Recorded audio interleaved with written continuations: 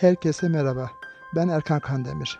Videoma başlamadan önce kanalıma abone ve bildirim açarak önceden haberdar olabilirsiniz arkadaşlar. Sen Çark Kapımı dizisinin yeni bölümde neler olacak arkadaşlar? Eda ve Serkan arasında bir aşk mı doğuyor?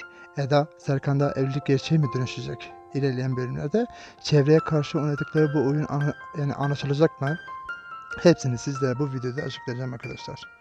Öncelikle Eda ve Serkan birbirine aşık olmasını istiyorsanız ve ayrıca başvurdukları oyun oyun- onların hayatını değişecek diyorsanız lütfen beğeni tuşuna basalım ve kaç kişi olduğumuzu görmüş olalım. Sen Çark Kapımı dizisinin yeni bölümünde Eda hayatını mahveden Serkan Polat'a ulaşır.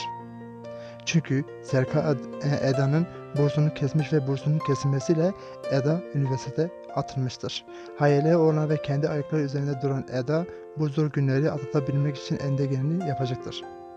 Çünkü Eda'nın Serkan'a duyduğu nefret ilerleyen bölümde aşka dönüşecektir.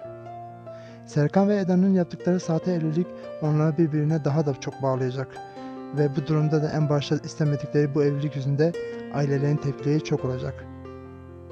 Özellikle Serkan'ın ailesi Eda'yı kabul, e, kabul etmeyecek ve bu konuda Serkan'a tepkileri gösterecektir.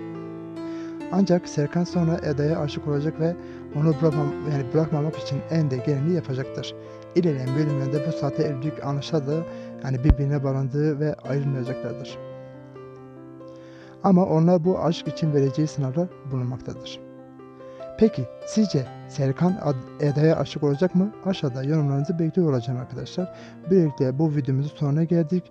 Arkadaşlar daha çok video için kanalıma abone ve bildirim açarak ve beğeni ve yorum yaparak bana destek olabilirsiniz.